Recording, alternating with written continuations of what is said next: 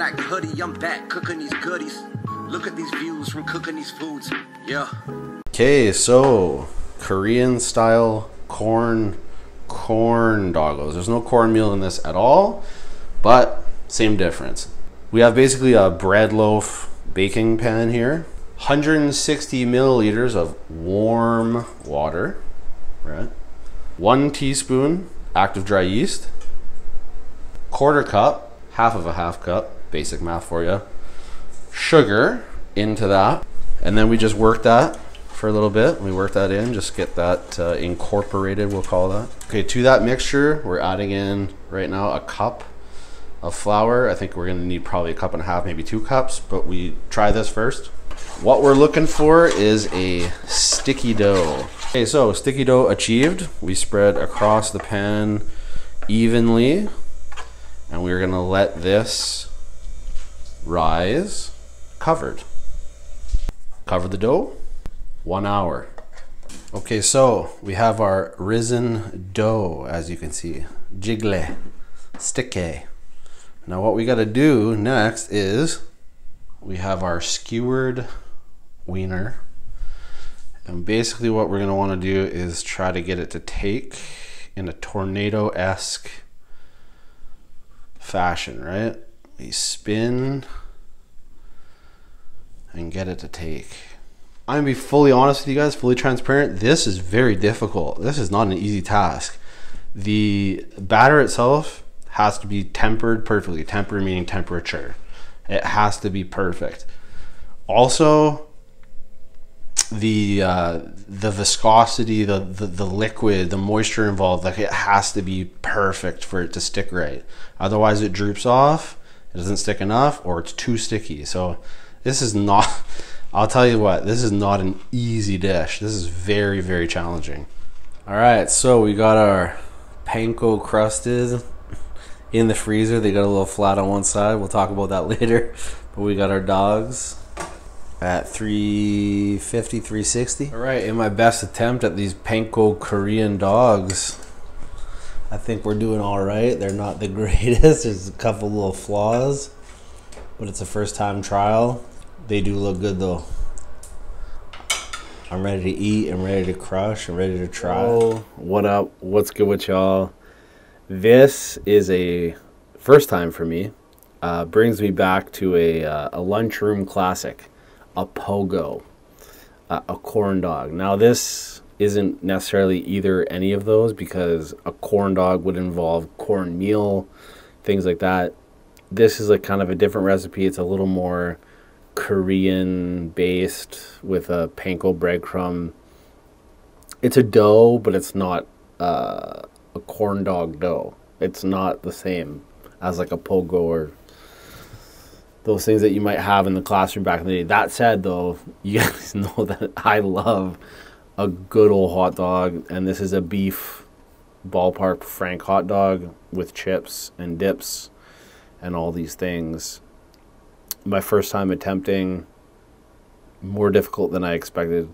That said, talk about a little bit, but I do want to indulge in this trial and error. So, this is a first time thing for me to try. Right? Very texturally crazy. There's some open pockets there because my ability to uh, execute on the proper dough didn't go exactly as planned. Oh, cling clang goes the bang and the engine, but still gonna be good. I know it's gonna be like legit to have this bite. So we'll have this and then we'll just discuss. Why did I? I haven't let. I've been letting this cool down.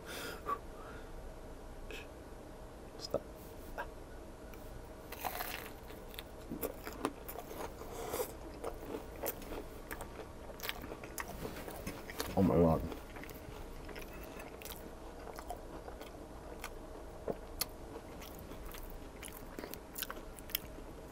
Not gonna lie, I gotta inspect for myself. Yeah, mm. was great. It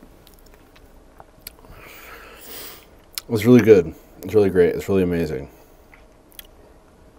Here's the thing.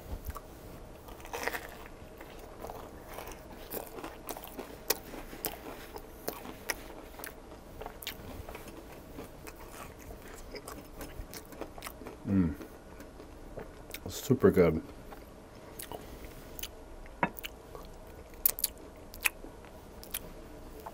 I've always loved a uh, a corn dog in ketchup, of course.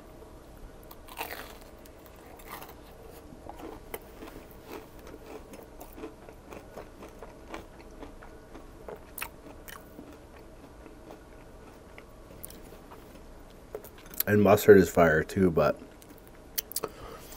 for me, there's something about the uh, the dough and the dog.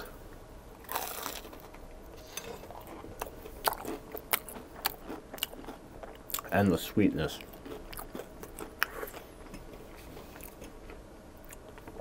Okay, so if we're going to talk about this a little bit, I've never made a homemade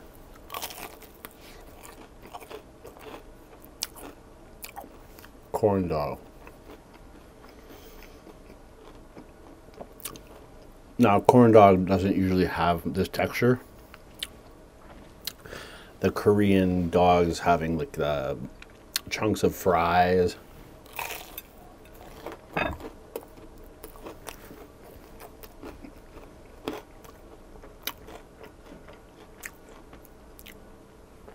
Sometimes the panko crumbs and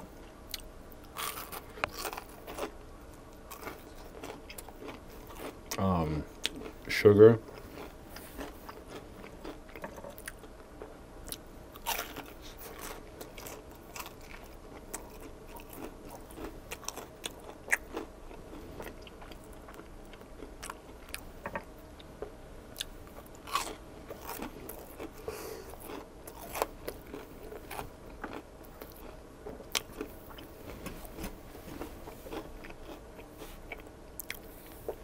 That all being considered,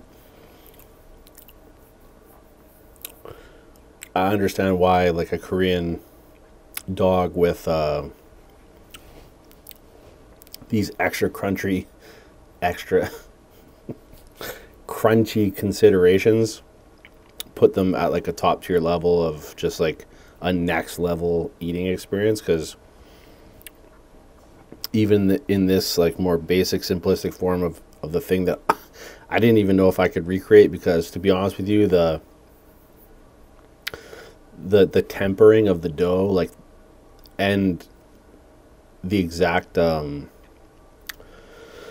measurements of everything it was challenging. A very uh,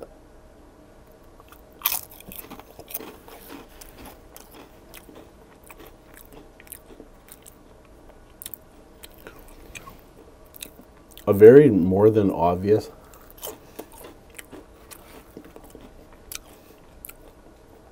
difficult task to create.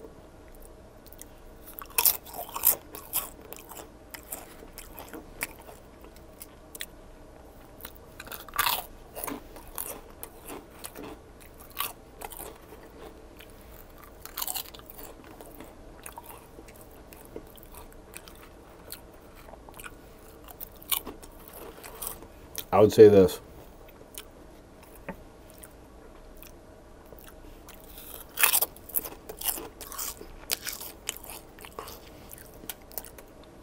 about attempting this recipe to make it absolutely immaculate and or perfect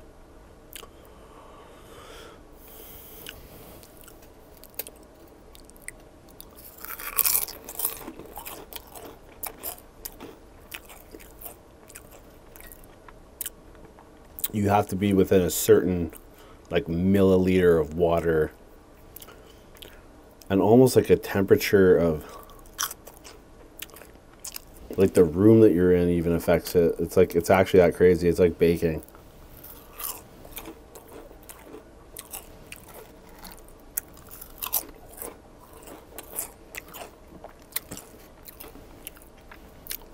And then like I put these on a plate, right? So they're not perfectly cylindrical, round, as another word, because like I needed them to firm up. But like I've seen videos where people just like they they wrap it around almost like cotton candy. They they wrap the uh, the dough around perfectly and then they toss it into a fryer.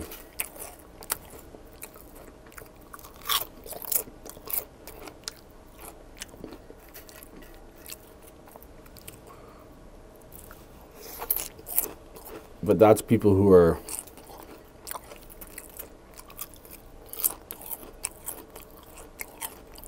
well, A, they've perf- perfected the recipe and B they sell them for like a living at like a carnival or wherever. That being said though,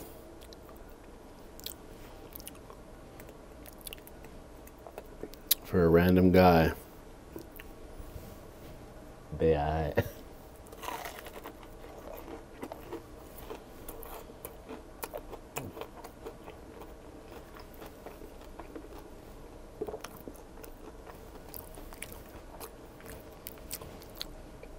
They're amazing.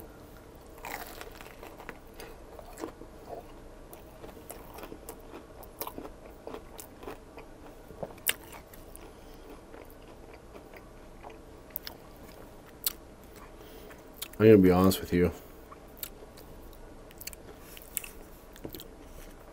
This is one of the hardest things for me to believe, but I do believe it as time goes on.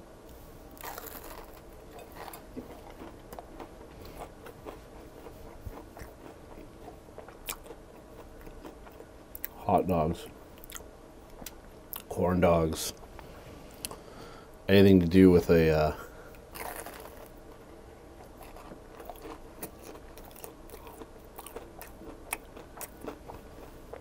a wiener.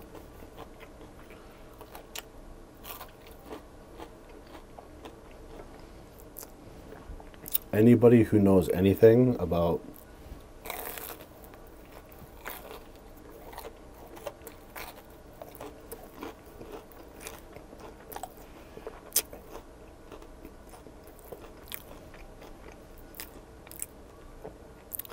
how technically disturbing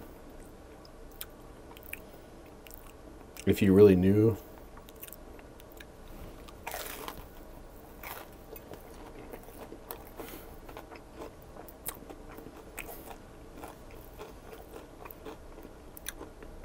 what went on to make that you'd be like I'm never going to eat one of those again.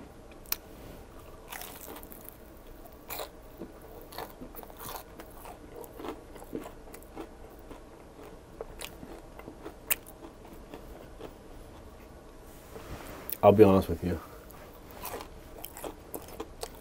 I don't want to know the truth.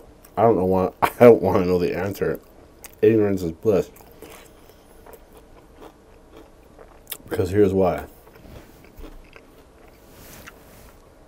A great hot dog, a great fried corn dog or anything like this.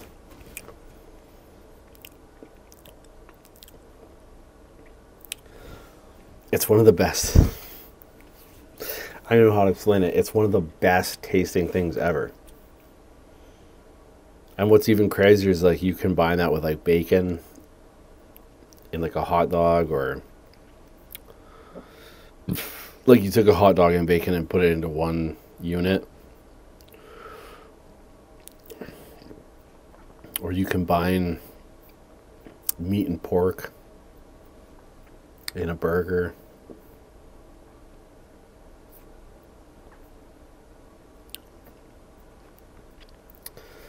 In your palate, it's like legitimately some of the best shit you'll ever taste. Doesn't really make sense how good it is. And in your head, you're like, I know it's kind of fucking.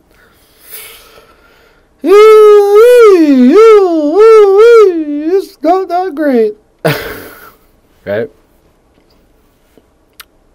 Same time, it's like, it's so that great though. Super weird. Anyways, till the next guy. Till we eat some other shit that feels